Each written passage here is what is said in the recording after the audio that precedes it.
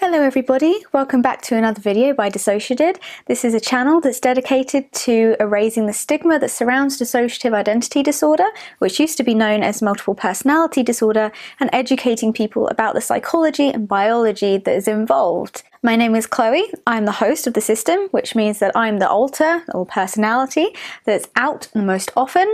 And today I'm going to be telling you about ways that you can communicate with your system if you do have DID or OSDD. Now, OSDD stands for Otherwise Specified Dissociative Disorder, and it's known as a slightly different form of DID. I will be going into more detail about OSDD in another video, which will be a debunking DID video, so stay tuned for that.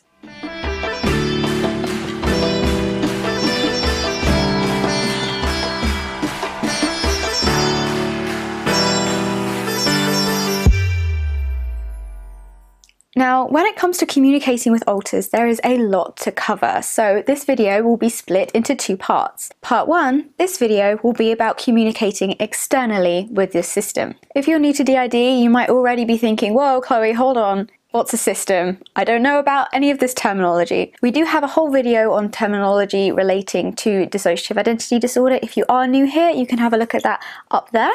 But essentially, a system is the collective term for all the alters that reside within one body. It's a way to refer to everyone in one go.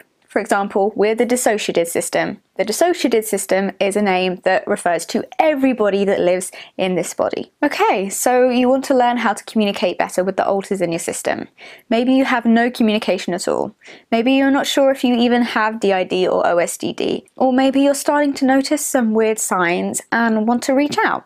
How can you do this? It's very difficult to try and reach in towards the headspace which is where the alters reside inside the mind, essentially. The psychovisual space that the mind has created to visualize the way that the mind has been compartmentalized through amnesia due to trauma when you have DID. So let's start with the external stuff. How can you communicate with your alters without having to do any kind of psychoanalyzing or trying to listen to voices or trying to communicate with an inner world if you don't know whether you have one or not? Not everybody with DID will have an inner world. If you don't know what inner worlds are, we have lots of videos on those as well, and you'll be able to find them up here or in the description box below. Okay, so the easiest way to start reaching out to alters in your system, regardless of whether you have good communication already or whether you're completely new to this, is by leaving notes. Post it notes are such a lifesaver because what you may do in the body may be completely different from the routines that other alters do in the body. So if you were to just leave notes in places where you'd be likely to check, that doesn't necessarily mean that other alters in your system are going to be checking there. They also may not know to check for anything because they might not know that you're trying to reach out to them or they might not be interested in communicating with you yet. Communication is a two-way street. Be aware that it might take some time before alters in your system feel comfortable enough to reach back out to you. This goes for whether you're a host, so the person who is in the body most often, or an alter trying to reach out to your host. Be patient and don't give up. So this is why I like post-it notes. Post-it notes can be stuck anywhere. So sticking them on walls, on fridges, cupboards, anywhere that is kind of necessary to daily life. If you're going past this area, you're going to notice a big like pink or yellow, green sticky note stuck where you need to be going with writing on it. That's going to make you stop and think, I didn't leave that there, what is this? If you're trying to get somebody's attention, leaving notes, leaving reminders for things that your alters might need to do or the rest of the system needs to do. We have a meeting at this time on this day. Don't forget, write this down. Or I've written something and I want you guys to read it. I've left notes for you. Here's where you can find it please communicate with me. Or just things like, today's bin day. Don't forget to take out the bins, everybody. If you're trying to use these notes to encourage things like chores, as I was saying, taking the bins out, or you have something that you need to do, it's very useful to have a fridge magnet or a whiteboard somewhere in your house. We have three. Whiteboards especially are very, very useful because obviously you can wipe off and rewrite whatever needs to be done. So if somebody needs to add something, but oh my god, there's no pen around or there's no room left on this sticky note, I don't know where the sticky note block is, I don't have much time before I switch back out, you can just grab the pen that's usually attached to the whiteboard and just write a note. You may not know that your attempts at communicating are being successful, are being heard or seen. So with a whiteboard, people can leave notes saying like heard, received, done, tick things off. It can also then become a routine of, okay, I'm going to the fridge ah, what's new on the whiteboard today? It becomes a routine to check, has anybody left any notes for me? Is there anything I need to do? Has something happened that I wasn't aware of that we need to change or work on together? Is there something that I need to know about that I haven't been able to understand yet? So things like post-it notes, fridge magnets, and whiteboards are very useful just for leaving notes and being able to communicate back and forward to each other, but they can also be useful for directing alters to then look somewhere else which leads us on to our next point. We keep a system journal. It is very difficult to keep a system journal. We have a whole video on it from when we really first started creating system journals for us all to communicate in, and you can see that video up there or in the description box below. But a system journal is essentially a diary that you all keep together. We have two different journals. One is dedicated to helping us organize daily life with the ID, which is the one you'll see in the video that I've linked, and the other one is sort of like a diary for all of us. It's difficult to get into this routine, especially when you don't have much time in the body or it's unusual for you to front. The last thing you're going to want to do is spend the time that you finally got in the body in the outside external world writing about what's happened in the inner world, you know? But it's useful to try and get into the habit of just, okay, what's the date? What's the time? Who's out?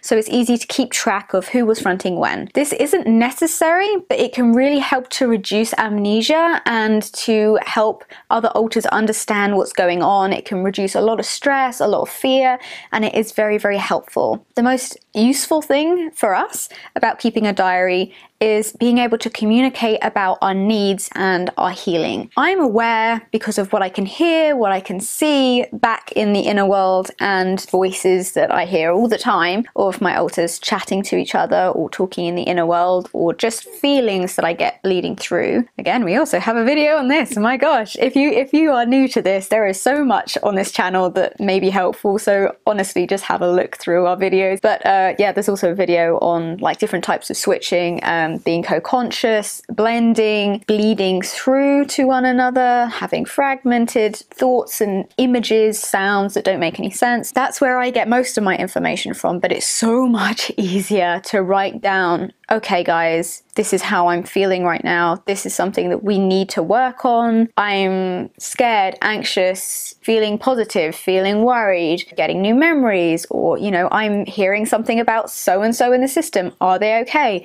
What can we do to help you? Please reach out to us. And you can also write down, like, okay, these are decisions we need to make as a community, as a system together. These could be big decisions about what you want to do with the body, what you want to do for jobs, what you want to do in the future.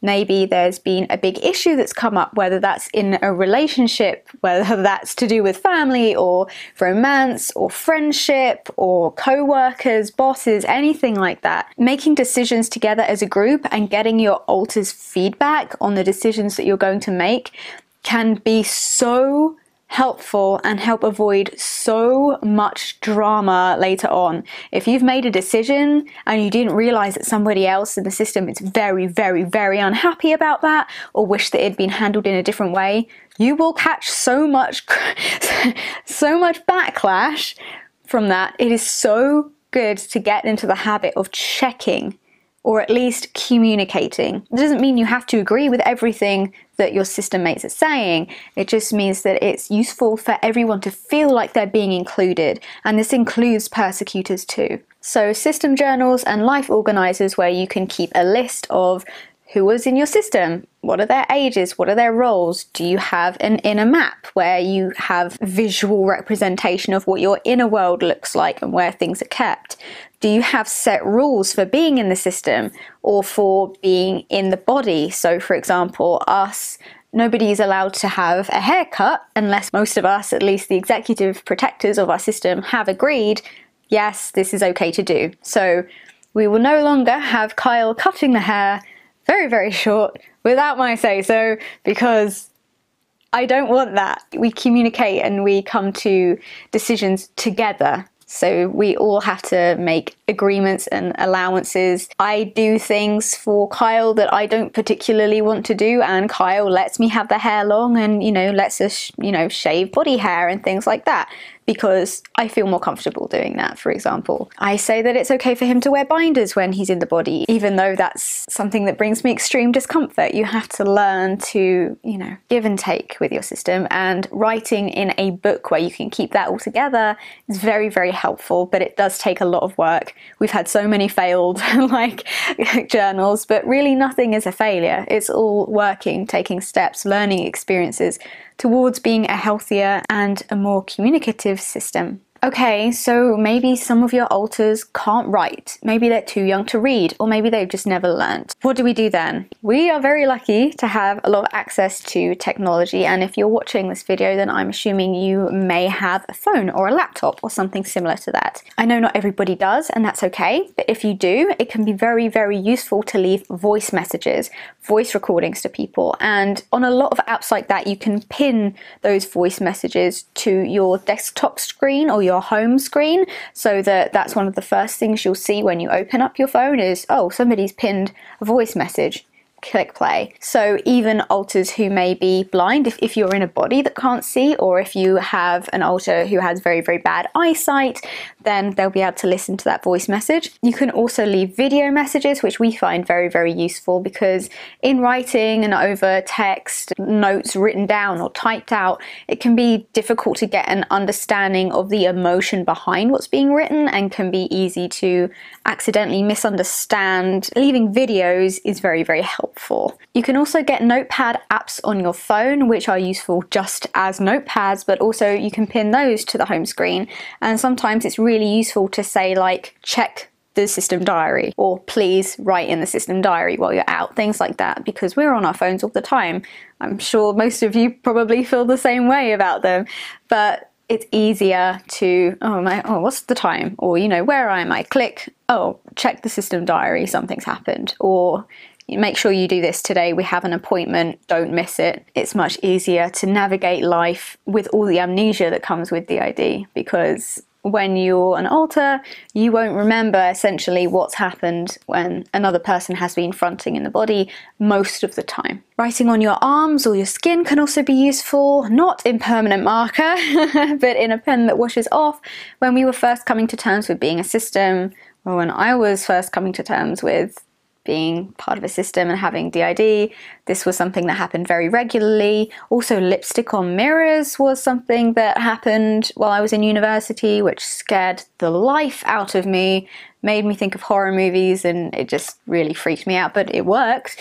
it got my attention and I was receiving the messages. If you don't have your phone to hand or you know you don't know where the whiteboards are or the post-it notes, there's no paper around. If you've got some lipstick or you've got a pen, it's useful to always carry a pen with you anyway. Just write something down on your arm whoever's fronting is to see that. Speaking about technology, there is also a phone app that I would like to recommend. It's called Serif. It was originally designed for playwriting, and it's an app where you can essentially make your own sort of like a messenger chat but it's just for you. So you can create your own profiles and they're just very, very small, just literally a name, agenda, and then you can put a little photo. And it's just one click to change between them. So you can have a whole like messenger layout. You just have to click on who's fronting and type in a message and it'll come up as someone else messaging the chat. So whenever someone else is out, they can check that chat and leave a message. It's very, very quick, very, very easy, and so simple that even littles can use it. It's very, very easy and has been very useful for us in the past. So this was part one of communication and how to communicate within a system. I hope that you found some of these tips helpful. If you're more interested in other ways you can communicate internally and what the hearing of voices is like, inner worlds, and how you can use being in a system to actually function almost like a game of Chinese whispers and the buddy method. If you're interested in all that kind of stuff, I'll be talking about that in the next video. So please stay tuned. If you are new to DID and the channel, please have a look at some of our videos. I'm sure that there will be something here that can help you. I hope that you all stay safe and that you have a lovely day. Thank you for visiting the channel and hopefully we'll see you again soon. Lots of love everybody. Bye.